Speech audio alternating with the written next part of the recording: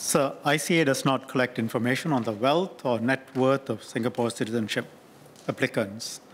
That is not a primary criteria for assessment for Singapore citizenship.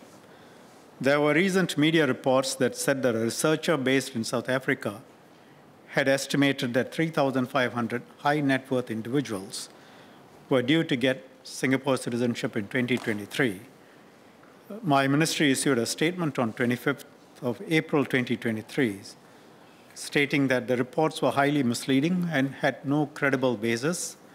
We do not know how the researcher arrived at these figures, and the grant of Singapore citizenship for the rest of 2023 has not been decided as yet.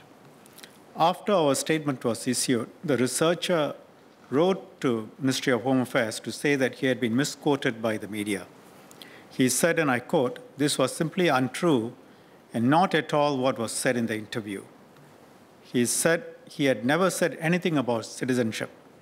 He said that he did not track citizenship in his research and that his projection referred to high net worth individuals moving to Singapore in general most of them may be expatriates and work transfers, i.e., not necessarily persons who applied and became applied for uh, and became citizens.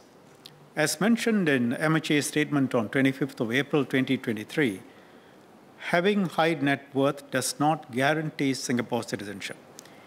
Each Singapore citizenship application is assessed on a broad range of factors which include the ability to contribute to Singapore, the number of jobs that the applicant or his business may be able to create in Singapore, the special skills and or education that the applicant may possess, the applicant's family ties to Singaporeans, the ability to integrate, and the commitment to sink roots in Singapore.